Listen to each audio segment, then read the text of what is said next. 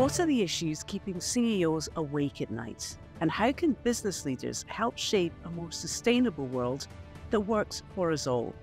I'm Halla Mohieddeen. Welcome to Global Perspectives from KPMG.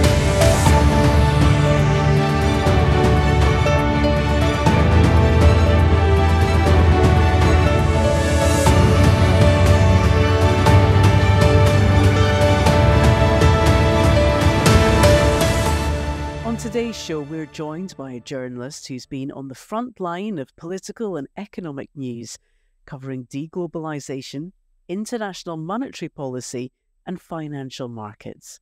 Mehreen Khan is the economics editor for The Times and previously spent several years in Brussels for the Financial Times, focusing on the UK's departure from the European Union. Mehreen, thank you for joining us on Global Perspectives. Thank you so much for having me. Now, we've heard a lot recently about the risk of a global recession driven by the war in Ukraine and other major challenges. What's your analysis? Well, as we sort of sit here at the sort of midpoint of 2023, there's lots of good news and unexpectedly good news.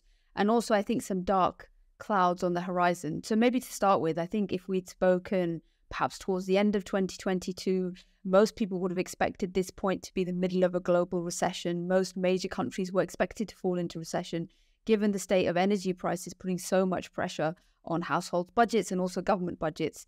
Uh, thankfully, that hasn't actually happened, and, and some of the factors involved in that are a little bit of luck. So, winters across Europe and in the US were not as bad as expected, which means we use a little bit less heating. And the global oil and gas markets have also fallen dramatically in the last few months. We're actually now to level before the Ukraine war caused a surge in energy prices, which was a huge shock to most major economies. So the good news is that with some exceptions, Germany being the main one, the UK, the US, and most of Europe is not in recession. The Chinese economy has emerged from a lockdown at the start of this year. That's given an extra boost to countries that have to export lots of things to China because they think their demand will come back.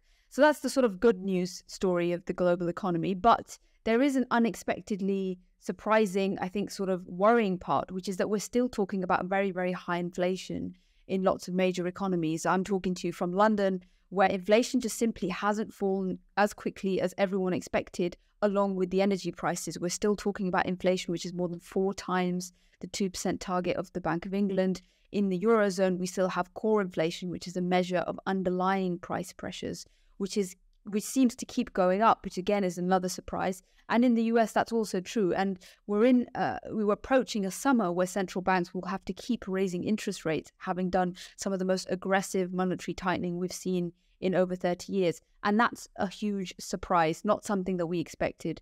And the consequences of that will mean that perhaps interest rates will rise much further than people would have expected if you asked them in 2022. And I think maybe just going back to one of the, the mixed parts of what we've seen is that most people still have jobs despite economies slowing down and the cost of living prices increasing. So labor markets have proven to be very, very strong. And so I think surprisingly strong because when we associate recessions or near recessions, the first thing people think about is, why am I going to lose my job? And that just hasn't happened. So we still have record low unemployment, which is great for most people living in developed economies. They are staying in their jobs. They might be working a little bit less. Their employers might be trying to offer them flexible contracts, but they're not getting laid off.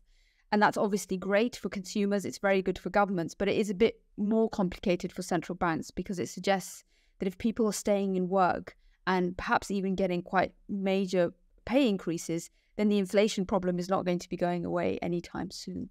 Now, you've reported extensively on deglobalisation, something we saw to an extent with Britain's departure from the EU. Is this something business leaders should be worried about? I think if you're a business leader or anyone who's been around a boardroom or around any sort of policymakers for the last 12 months, this is a buzzword that you will have heard quite a lot about deglobalization. And a lot of people sort of scratch their heads at this because it's quite a trendy word. Uh, journalists like myself use it a lot. We report about this phenomenon, but it's quite difficult to actually understand what it means. And I think if I sort of give you a little potted history, um, when the pandemic hit and we had major economies basically going into hibernation, global supply chains were massively disrupted. Um, we had huge delays for goods coming in from other parts of the world. Imports and exports were affected. And that sort of raised the prospect that the sort of 30 years of globalization, which is the liberalization of trade markets, the opening up of borders, the movement of people, all pretty much came to an end during the pandemic. And the question was raised was whether this was going to be permanent. I think there's a much more geopolitical element now, given the war in Ukraine the fact that Russia has been hit with unprecedented financial sanctions and effectively been excluded from the global trading environment, that deglobalization may actually mean something that looks like the world economy sort of balkanizing into different regions. And those regions will be ali- uh, will be falling into uh, place depending on what country considers which other countries to be its allies.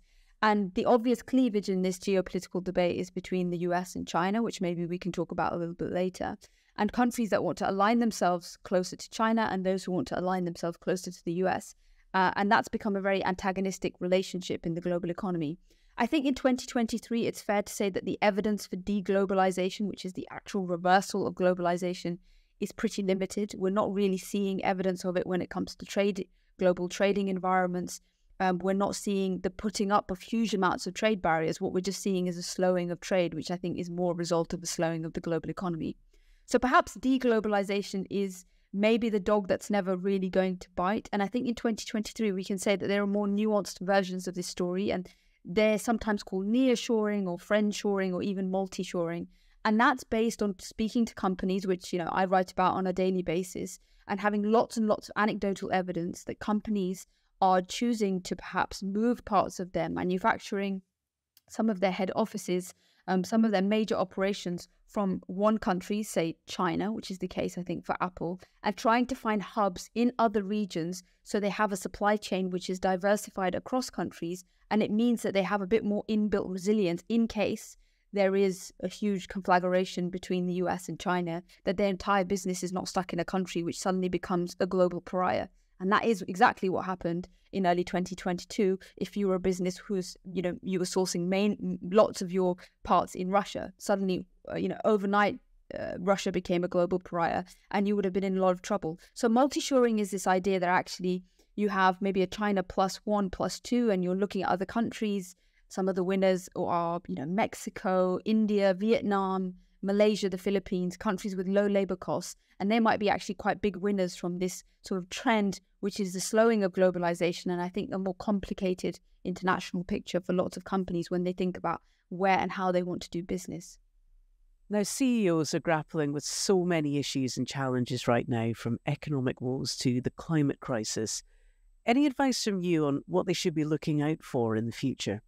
Think I think um, you should be very wary of taking any real business advice from a journalist. But from I think from my you know my talks to around policymakers and and people who are sort of looking at the global macro picture, I think the huge tail risk and something that has to be now on the radar of every business is, as I already mentioned, a major um, international trading disruption between the US and China and, and potentially the threat of conflict over Taiwan.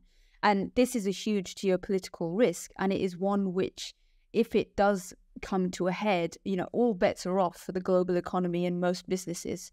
Um, we've already seen the impact that sanctions and financial sanctions can have on a country in Russia. And if any sort of degree of sanctions were placed by Western countries on China, then huge amounts of prosperity that we've been used to in the West, which includes access to lots of cheap goods, a relatively low inflation despite what we're already having, um, all of those things would be suddenly called into question. And that's now become a, a real risk in 2023 because the Biden administration has taken a particularly tough line against China. This includes banning the exports of chips. This also includes, you know, the US wanting to uh, create its own supply chains for ma- major green technologies. That's happening on a trading level. And there's also the threat of perhaps a Republican administration, which is likely to be taking a much more aggressive line with China. So I think the threat of a, of a major blowup between the US and China over Taiwan is something that is now uh, a subject which just cannot be ignored. So I, I'm sure that CEOs you know, if they're ever speaking to US policymakers, this is one going to be one of the biggest concerns. And then there, there are sort of the short term things that we've already mentioned. I think one interesting thing is that for now, we've had an environment of rapidly rising interest rates, but households and even businesses haven't really felt the pain of those interest rate rises. And that's because a lot of this pain has actually been delayed.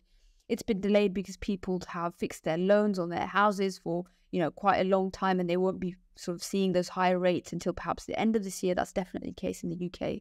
And I think it's if you're a business which has a clear consumer facing um, element that you're selling goods and services to people, you would have thought that actually 2023 has been a pretty sanguine and quite a benign environment.